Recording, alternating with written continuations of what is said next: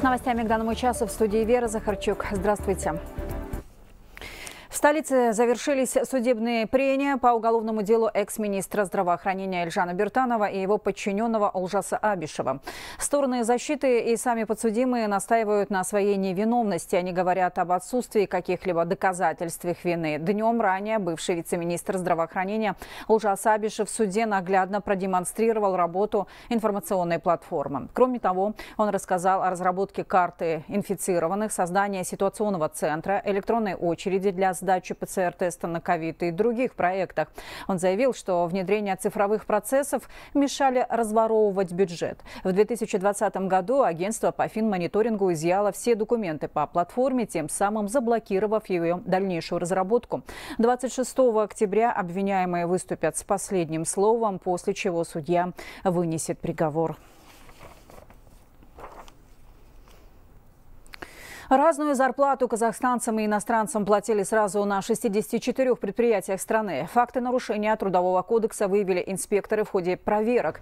Работодатели в итоге оштрафовали. Как отметили в Комитете труда и социальной защиты населения, по закону наниматель обязан обеспечивать работникам равную оплату и производственно-бытовые условия без какой-либо дискриминации. Показала проверка и ряд других нарушений, например, незаконное привлечение к работе иностранцев и несоответствие их образованию образования занимаемым должностям.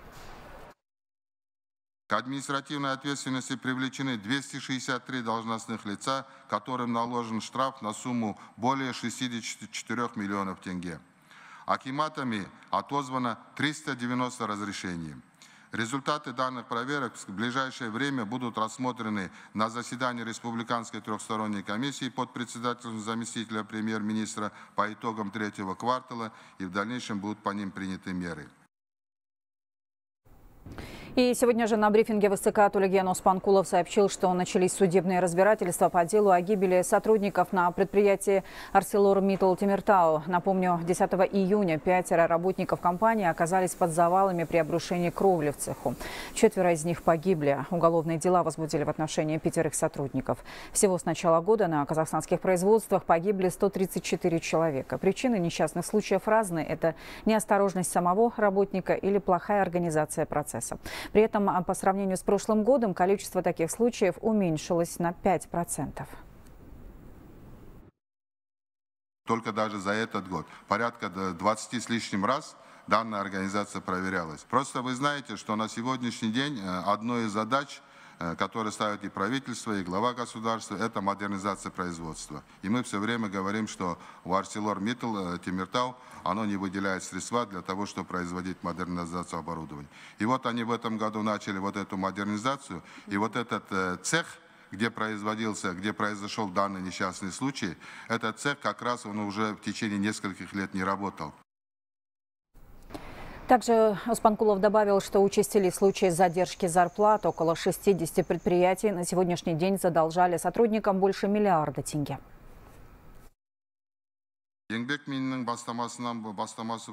Для повышения результативности погашения долгов по зарплате в законодательство внесены изменения, по которым предписания о необходимости выплат зарплаты имеют силу обязательного исполнения. То есть, если работодатель не погасит долг до истечения срока действия предписания, документ передается частным судебным исполнителям для принудительного взыскания. С начала года передано уже 47 таких материалов. Больше половины генерирующих мощностей электростанций Казахстана изношены. Об этом в СЦК сообщил глава Минэнерго Булаток Чулаков. Он рассказал об участившихся авариях и остановках энергетического оборудования. По сравнению с прошлым годом их количество увеличилось на 20%. Кроме того, министр заявил, что дефицит электроэнергии и дальнейший рекордный рост потребления несут угрозу для устойчивости отрасли. Ранее в стране действовали предельные цены на тарифы, однако из-за ускорившейся инфляции и для притока инвестиций Минэнерго планирует их пересмотреть в сторону увеличения. Продолжающийся дефицит э, энергии, возникший в 2021 году, является следствием участившихся случаев э, аварийного выбытия оборудования отечественных энергоисточников, которые претерпевают, к сожалению, сегодня высокое моральное устаревание.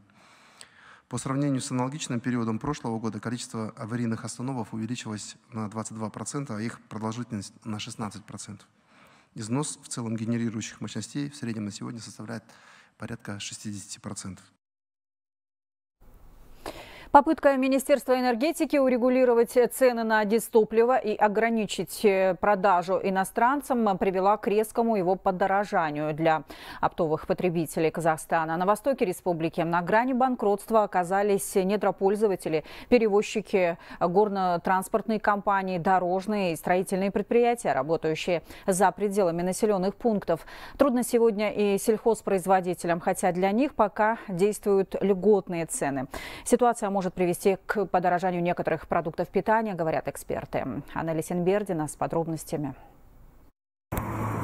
Уже почти два месяца цена дистоплива в Казахстане варьируется от 260 до 450 тенге за литр. Нижний порог для обычного населения, а вот верхний как раз для оптовых покупателей. В их числе почти все производства, говорят эксперты. Они собрались обсудить проблему. Талгат Нурмухамбетов руководит одним из месторождений на востоке страны. Дистопливо необходимо для буровзрывных работ и перемещения руды. Предприятие оказалось на грани закрытия из-за выросшей статьи расходов. Это может грозить э, приостановкой э, нашего предприятия временной до урегулирования цен. На сегодняшний день у меня работает э, в среднем в районе 230-270 человек.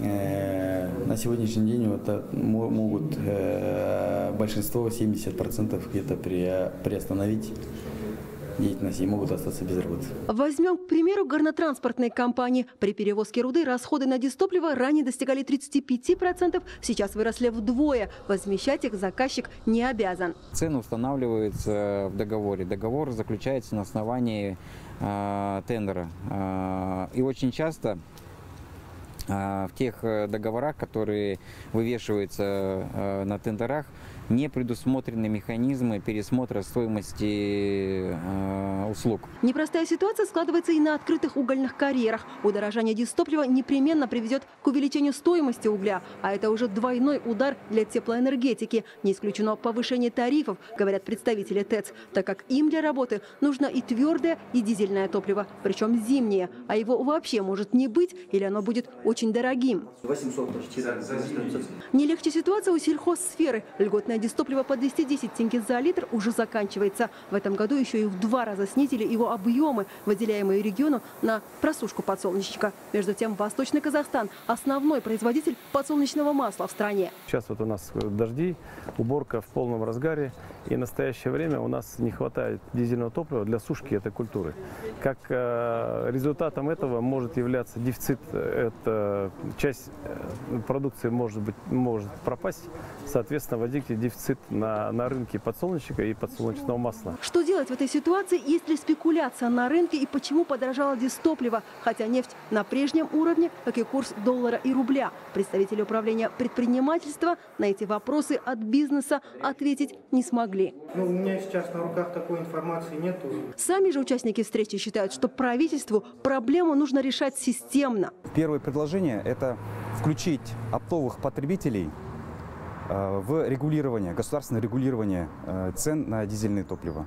Э, в дальнейшем необходимо проанализировать ценообразование на нефтеперерабатывающих заводах, в целом проанализировать весь цикл, начиная от добычи нефти, цен давальцев, цен поставщиков оптовых. Тогда можно будет выявить, на каком этапе растут цены, считают эксперты. Кроме того, они предлагают не полагаться только на крупные нефтезаводы страны, которые в самый разгар сезона могут останавливаться на ремонты, а создать сеть мини-предприятий при поддержке государства. Анна Лесенбердович Грибаканов, Усть-Каменогорск, Хабар, 24. Исторической справедливостью назвали возвращение празднования Дня Республики участники диалоговой площадки Ултык-Мудди. Политические реформы, вопросы дальнейшего укрепления независимости Казахстана обсудили известные политологи, государственные и общественные деятели. Глава Сената Маулина Шумбаев напомнил об особом значении декларации о государственном суверенитете. Напомним, этот документ приняли 25 октября 1990 года, и он стал правовой основ, основной, э, основой независимости нашей страны. Спикер АЗ заявил, что еще одну важную дату, 16 декабря, нужно воспринимать как День памяти и уважения к истории. Говорили на встрече и о предстоящих изменениях политической системы, укреплении баланса ветвей власти. По вопросам законодательного обеспечения проводимых реформ парламентарии намерены чаще консультироваться с экспертами.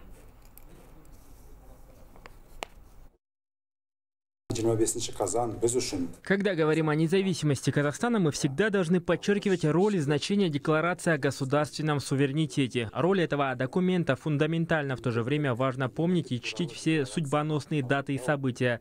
Так мы формируем объективное представление о нашей истории. Работников сельского хозяйства сегодня чествовали в Кустанае. Нынешний сезон для агрария выдался нелегким. Тем не менее, фермеры в этом году собрали хороший урожай. Это им позволит обновить технику и переключиться на решение социальных вопросов в сельской местности. Артем Грапов расскажет больше. День сельхозработника для прибывающих гостей начинался с этой выставки. Здесь продукция исключительно местных предприятий переработки. Эти бренды давно известны за пределами региона и страны, и все же Кустанайская область остается главной житницей Казахстана. В этом году аграрии убрали из полей более 5 миллионов тонн пшеницы, четверть урожая республики. По Узункульскому району мы получили 25 центнеров с гектара. Мы сочетаем нулевую технологию и одновременно э, зернопаровые севообороты держим. А некоторые хозяйства и вовсе побили в этом сезоне все рекорды, собрав с гектара 50 центнеров. Во время уборки погода была идеальной, не подвела и техника. Кстати, аграрии все чаще стали обновляться. За 9 месяцев текущего года сельхозформированиями области приобретено 234 тракторов, 85 зерноуборочных комбайнов, 177 сеялок, 53 пассивных комплексов и 411 единиц другой техники. В том числе в лизинг через акционерное общество «Казагрофинанс» передано 619 единиц. Благодаря своевременным мерам господдержки аграрии закупили необходимые объемы топлива, семян, запасных частей и гербицидов.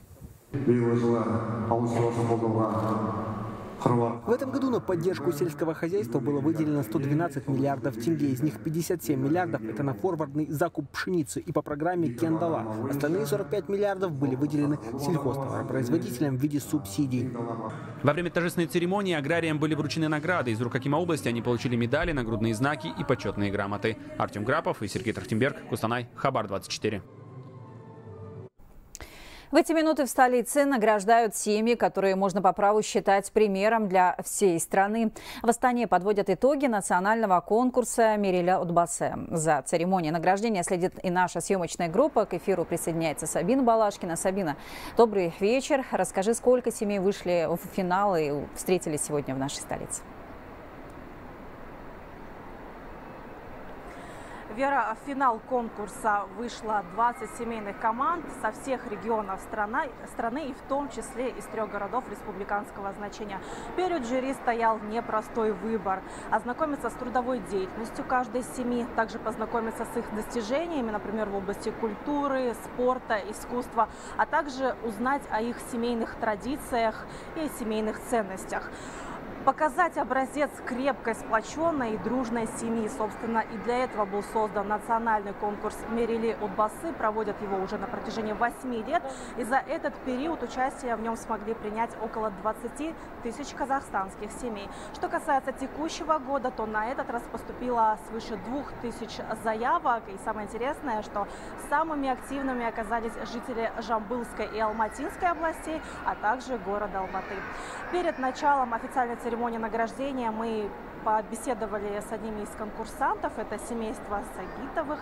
Мы задали им несколько интересных вопросов, предлагаю послушать. Перечислите три основных пункта счастливой, крепкой семьи. Взаимо взаимопонимание, гармония и уважение. А на ваш взгляд? Любовь, доверие. Вы знаете, в наше время, что женщина, что мужчина хотят доказать друг другу, кто главный в семье. И начинается у них друг друга подергивание, а у тебя то, а у меня это. Знаете, секрет семейной жизни, если ты полюбил человека, люби его со всеми минусами, и тогда не будет у вас никаких проблем.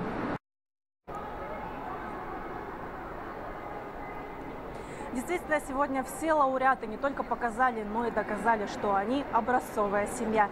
Ведь они точно знают, как сохранить погоду в доме на долгие годы. В завершение хочу пожелать всем нашим телезрителям беречь друг друга, беречь свои семьи. Ведь не зря говорится, что счастлив тот, кто счастлив в своем доме. Вера, на этом у меня все. Спасибо большое. Сабина Балашкина была с церемонии награждения национального конкурса Мириля Утбаса. К этому часу пока все новости. Спасибо, что были с нами. Предлагаю остаться. А эфир продолжит программа «Дневная смена».